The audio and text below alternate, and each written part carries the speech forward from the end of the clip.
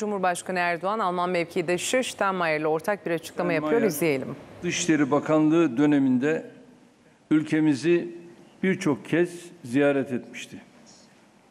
Ancak bugünkü ziyareti Cumhurbaşkanı olarak ülkemize yaptığı ilk ziyaret olması ve Türkiye-Almanya arasındaki dostluk anlaşmasının 100. yılını tekabül etmesi bakımından ayrıca değerli bir ziyaret olmuştur.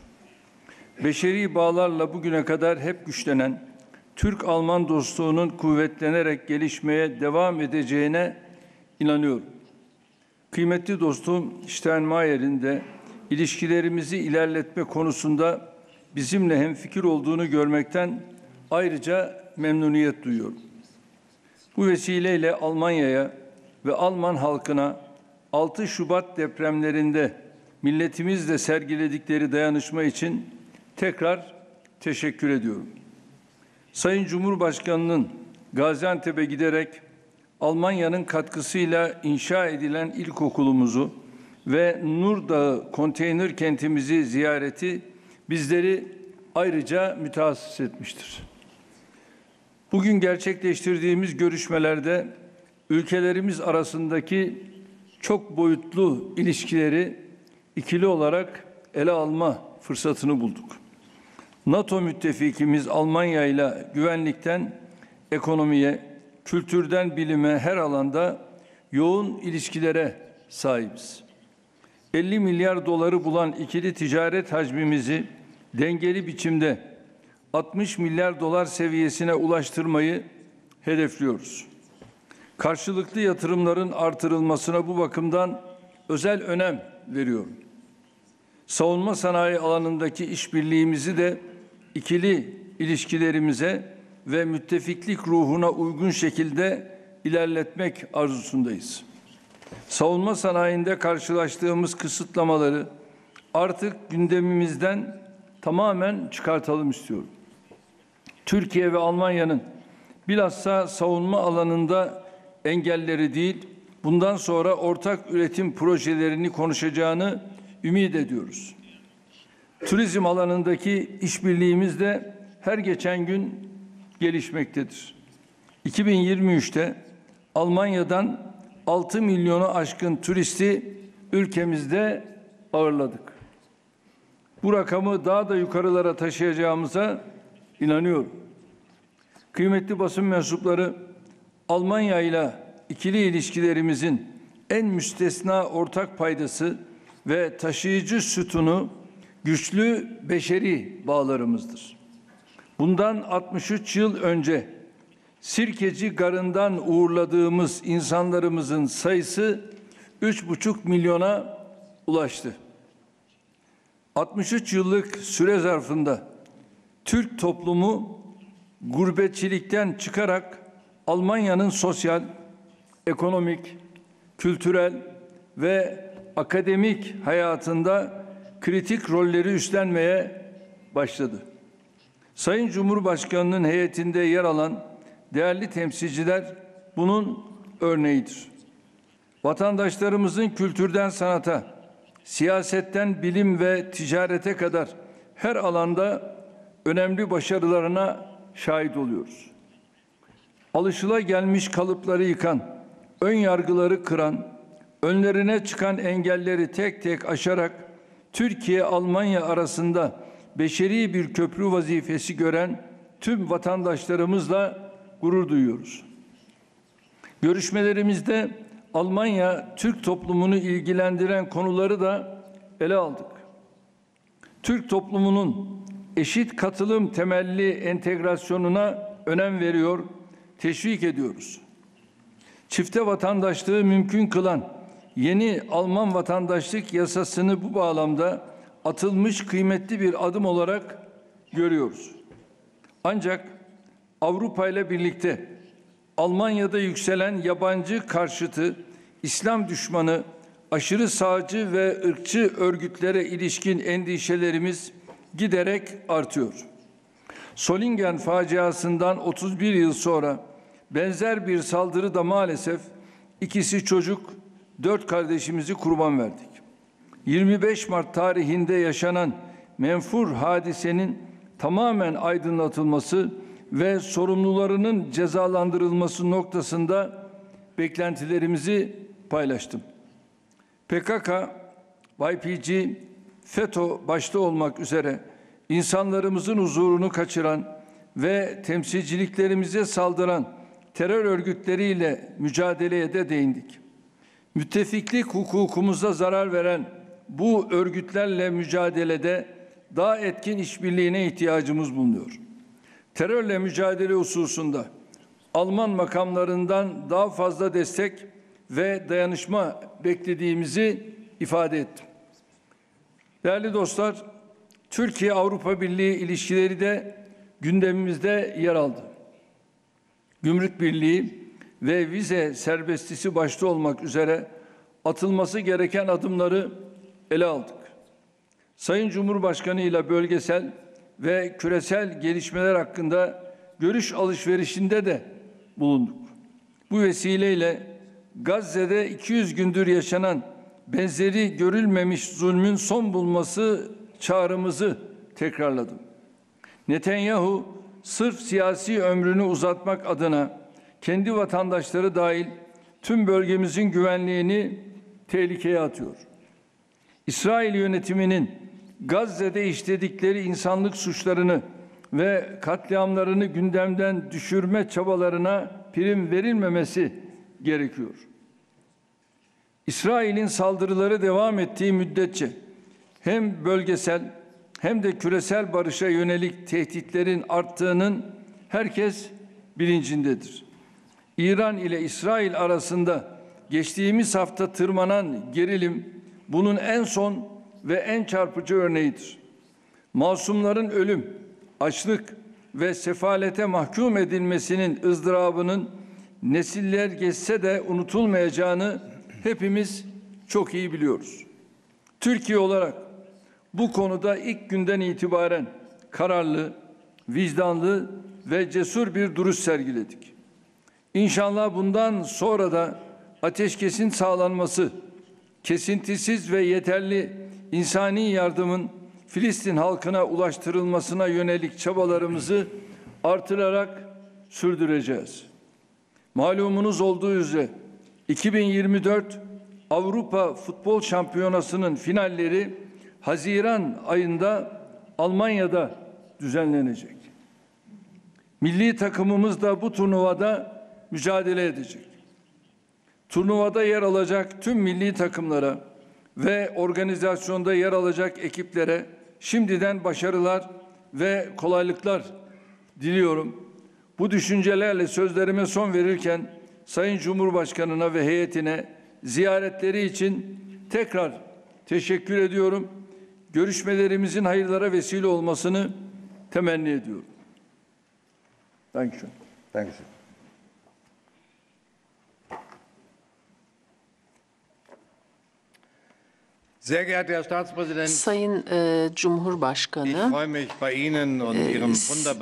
zu Gast zu sein. burada sizin ve e, olağanüstü ülkenizin misafiri olmaktan dolayı çok mutluyum. E, Hemşerilerinizin e, konukseverliğini son üç günde gerçekten birebir yaşadım.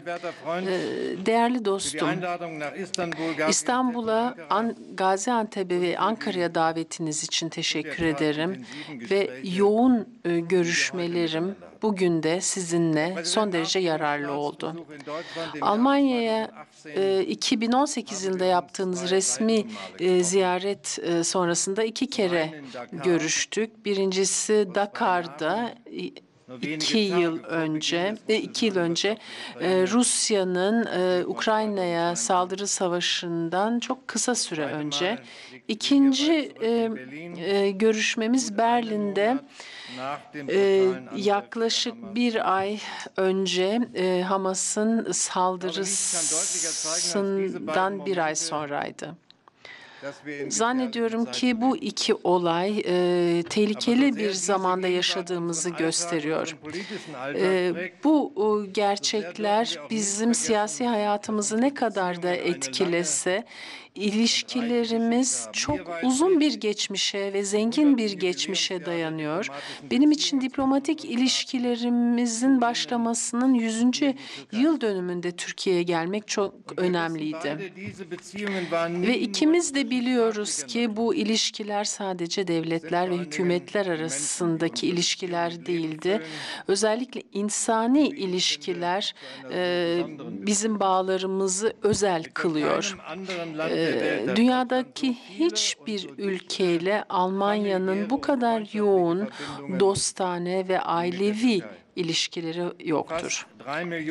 Yaklaşık 3 milyon Türkiye kökenli insan ve 4 kuşak önce e, iş gücü anlaşmasının 1961 yılında imzalanmasından sonra e, Türkiye Almanya'da yaşıyor. Onların e, öyküleri e, bizim ülkemizi şekillendiriyor. E, siyasi hayattan, ekonomi ve kültür hayatından bu kuşakların temsilcileri benim bana ziyaretimde eşlik ediyor. Tabii ki bu ilişkiler tek taraflı değildi.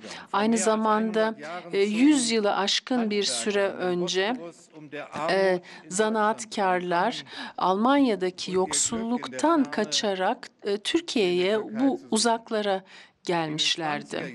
20'li yıllarda ise Alman bilim adamları, e, mimarlar, şehir plancıları e, genç Türk Cumhuriyeti'nin kuruluşuna katkıda bulunmak için geldiler. 30'lu 40'lı yıllarda ise Nazi Almanyası'nda baskıya uğrayan çoğu, çoğu Yahudi olan aileler e, buraya geldiler ve e, bugün de Ankara'da görüşlerim, görüşmelerimde Ankara Üniversitesi'nde e, bu konuda yeni bilgiler edindim. Tarihi bağlılığımız e, Sayın Cumhurbaşkanı e, son derece güncel. E, Bir yıl önce e, Güney doğusunda Türkiye'nin yaşanan yıkıcı e, deprem sonrasında bunu yaşadık. THV, e, insani yardım kuruluşları, doktorlar e, çok kısa sürede e, geldiler, e, e, kurtarma ekiplerine e, katıldılar ve tabii ki Almanya'dan e, çok yoğun e, maddi destek de sağlandı. Ee, Siz ifade ettiniz. Ben dün deprem bölgesini ziyaret ettim. ve e, orada yeniden inşa çalışmalarının e, ne kadar e, takdire şayan olduğunu ifade ettim.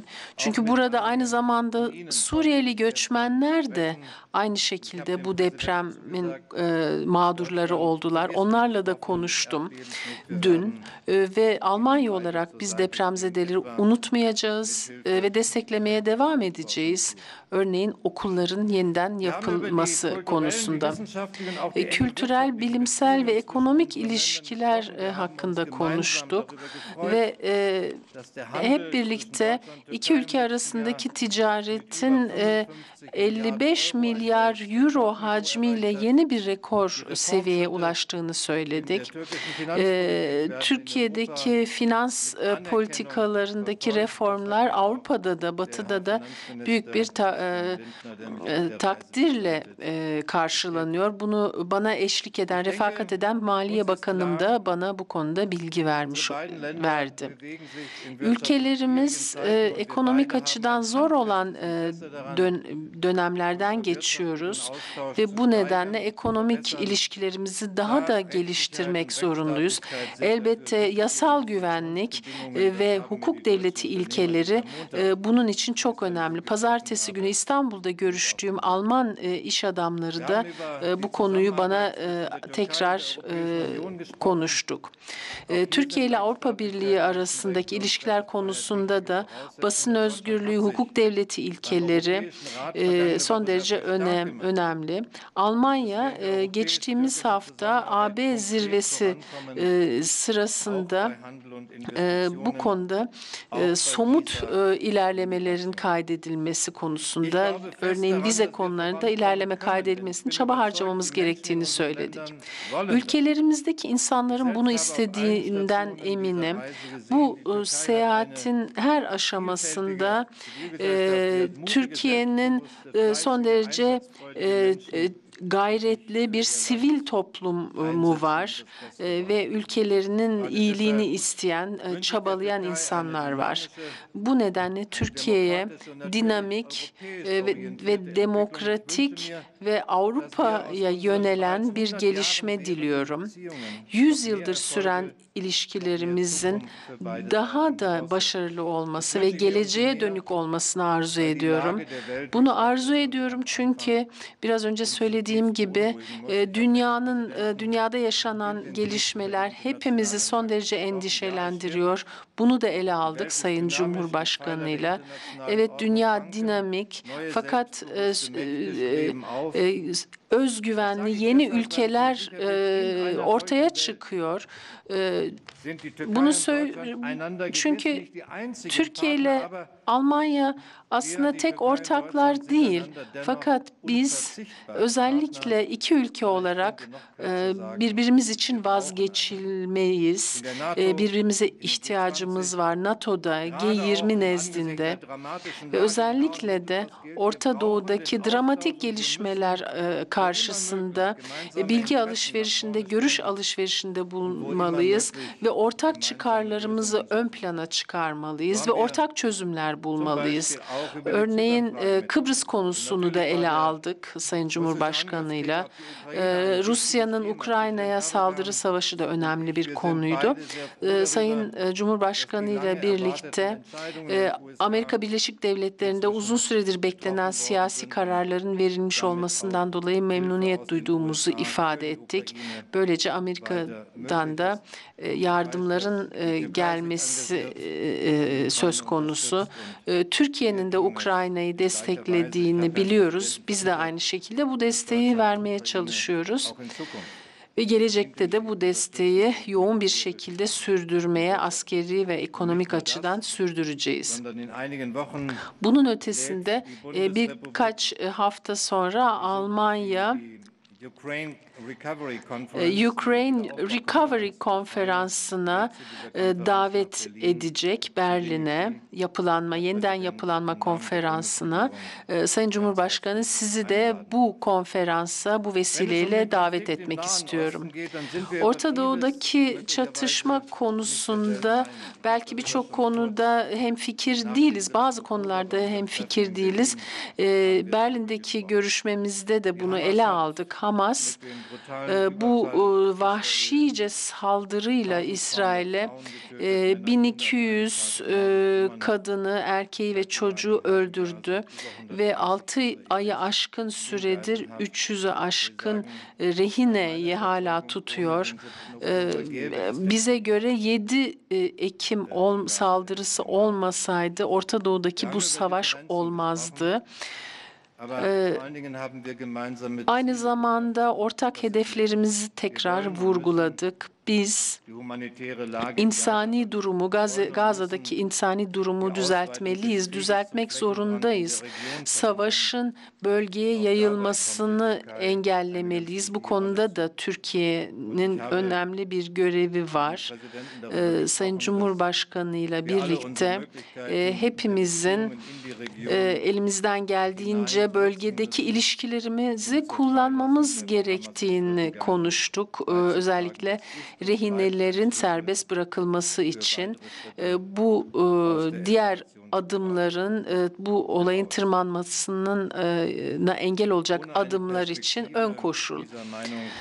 E, yine hem fikir olduğumuz bir konu. Filistinliler için siyasi bir perspektif olmadan orta veya uzun vadede e, İsrail içinde güvenlik sağlanamaz. Sonucunda bu e, siyasi perspektif sadece iki devletli bir çözüm olabilir. Bu yönde yine adım atmalıyız. Kısa e, süre e, içinde e, ve e, bu e, çok zor e, dönemlerde den Türk-Alman ilişkilerine yeniden e, önem kazandırmalıyız, ivme kazandırmalıyız. E, çok yoğun e, ve detaylı görüşmelerimiz e, sonrasında size tekrar davetiniz için e, tüm gönlümle teşekkür etmek istiyorum. Konukseverliğiniz ve açık sözlülüğünüz için çok teşekkürler. Dankeschön. Dankeschön. Evet, şimdi Almanya ve Türkiye tarafından ikişer basın mensubuna soru hakkı vereceğiz. Önce misafirlerimiz Almanya'dan başlayabiliriz. Marion Sendka, Türkei-Korrespondentin für verschiedene Medien. Meine Frage Türkiye muhabiri, an beide Präsidenten, an Sie, Herr Steinmeier, und auch an Sie, İki. Cumhurbaşkanına da yönelik olacak sorum. Şu anda hem Almanya'da hem Türkiye'de bir e, döner tartışması var. Siz e, ikiniz de e, her iki ülkede e, yoğun olarak dönerin ele alındığını ama e, bunun yerine e, yoğun ve e, zaman zaman gergin olan bir e, geliş e, ilişkinin ele alınmamasını e, da üzüntüyle karşılıyor musunuz? Yani e, ilişkilerin oberflächlich die Beziehungen geworden sind, sondern E, Bence e, aslında yüzeysel e, olduğunu düşünmüyorum ilişkilerin. E, bu aslında bu ziyaretle ilgili tartışmaların yüzeysel olduğunu düşünüyorum. E, ciddi olmak gerekirse şunu söylemek istiyorum. E, beni bu kadar çeşitli kalabalık bir heyetin e, e, bana refakat ettiğinden çok mutlu oldum. Çünkü onlar e, Türk-Alman, Almanya'daki Türkiye'nin, Türk insanlarının, e, cemaatinin ne kadar çeşitli olduğunu gösteriyorlar. E, Hannover Belediye Başkanı Sayın Onay bize eşlik ediyor. Evet, burada oturuyor o da. DHL'in CEO'su aramızda. Sayın Mustafa Tonguç.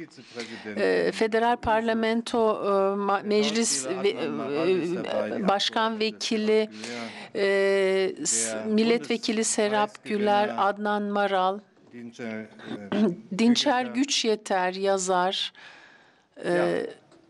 Evet, bunlar e, evet Arif Keleş'in döneri de bunun bir bu çeşitliliğin bir parçası. dieses neue Deutschland Ve bu yeni e, Almanya'yı şekillendiren bir çeşitlilik bu. Bunun anlaşılmasını arzu ediyorum. Ve bu yüzeyselliği artık ar- e, geride bıraktığımızı düşünüyorum. Herhalde döner İstanbul'da bitirildi.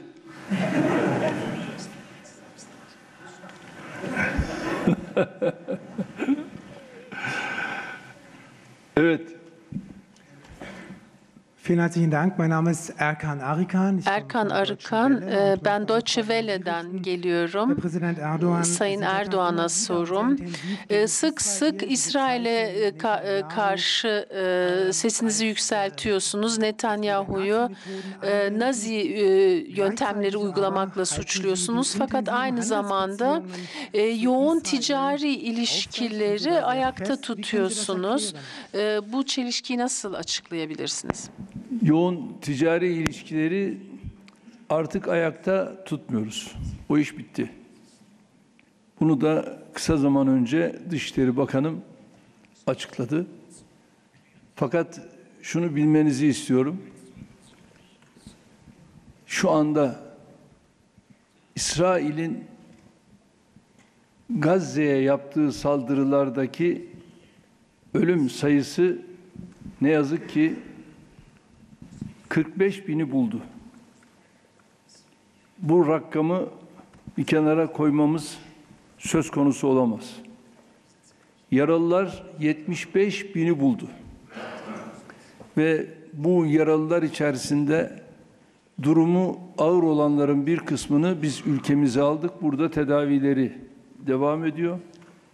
Ve tabii çocuk, kadın, yaşlı büyük bir burada maalesef ağır manzara var. Bu manzarayı Alman dostlarımızın görmesi lazım. Bu kadar Gazze, Filistin tamamıyla yerle yeksan olmuş. Her taraf yıkılmış. Böyle bir durumda kaldı ki İsrail'le Gazze'nin silah, mühimmat, araç, gereç bunlar zaten mukayese edilmez. Bunları görerek değerlendirmeyi yapmak lazım. Ve bütün bunların yanında tüm Batı kimin yanında yer alıyor? İsrail'in yanında yer alıyor. İsrail'in acımasız bu saldırıları karşısında Gazze'nin böyle bir imkanı var mı? Yok. İmkansızlıklar içerisinde bütün bunlara rağmen biz şu anda rehinelerin takası noktasında bir gayretin içerisindeyiz. Bir mücadelenin içerisindeyiz. Temenni ederiz ki bu takasta başarılı oluruz. Thank you. Evet, Türkiye tarafına geçelim. Esra Nehir Habertürk Televizyonu. Benim sorum konuk Cumhurbaşkanı'na olacak. Uluslararası Adalet Divanı'nda soykırıma yardım suçlamasıyla Almanya aleyhinde açılan bir dava var, devam ediyor. Ülkeniz e, bu davanın duruşmasında yaptığı savunmada İsrail'in güvenliğinin Almanya'nın dış politikasının merkezinde olduğunu belirtti ve silah ihracatının da uluslararası hukuka uygun olduğunu ifade etti. Yine aynı savunmada e, Filistin halkın Filistin halkına karşı sorumluluklarını da yerine getirdiğini ifade etti Almanya'daki hukukçular. Ee, İsrail'e silah ihracatının sürmesi sizce bu durumla bir tezat oluşturur mu? Barış'a ne gibi katkısı var ve ülkenizde de e, İsrail politikanız nedeniyle bazı protestolarda söz konusu yorumunuz ne olur? Teşekkür ederim. Sie haben aus der Bu e, iddianameden alıntı yaptınız e, Nikaragua'nın. E, bu tabii ki bizim e, görüşümüz değil ve biz mahkeme nezdinde e, bu konuda e, Almanya'nın desteğinin e, bir soykırıma katkı olduğu izlenimine karşı biz de e, tabii ki girişimde bulunuyoruz. Biz e, bu fikri paylaşmıyoruz ve hukukçularımız e, bu uluslararası mahkeme nezdinde de bu e, kon- konumumuzu savunuyoruz. Evet, ikinci soruyu Türkiye tarafından alalım. Efendim Fevzi Özgür Altın Ülke Televizyonu. Ben e, her iki Cumhurbaşkanı'na da soracağım sorumu. E, Almanya'da Türk kökenli vatandaşlara yönelik ırkçı saldırılar sürüyor. Son olarak kundaklama sonucu 4 Türk hayatını kaybetti. Alman hükümeti saldırılara karşı bir önlem almıyor mu veya almak istemiyor mu? Aşırı ırkçı yapılara karşı nasıl bir önlem alacaksınız? Türkiye'nin de e, bu olaylara karşı yorumu nedir? Teşekkür ederim. Sağ ol.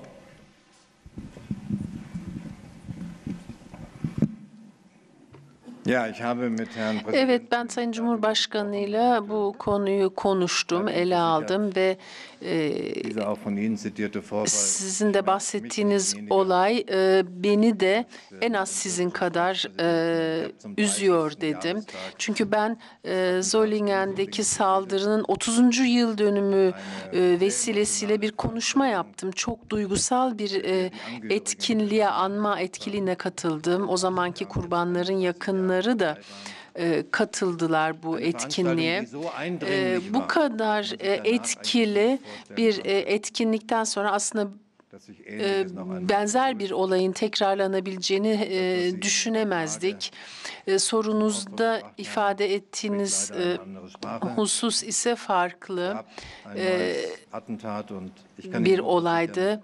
E, yeni bir saldırı oldu maalesef. Alman güvenlik güçleri ve yargısı bu o, olayı hak ettik, bu e, failleri hak ettikleri cezaya cezayı verecekler. Evet, ben de çok çok teşekkür ediyorum. Değerli arkadaşlar, özellikle değerli dostum ve heyetine bu ziyaretleri sebebiyle çok teşekkür ediyorum. Şimdi şurada bir fotoğraf çektirelim. Ondan sonra ikramımıza geçelim. Ja.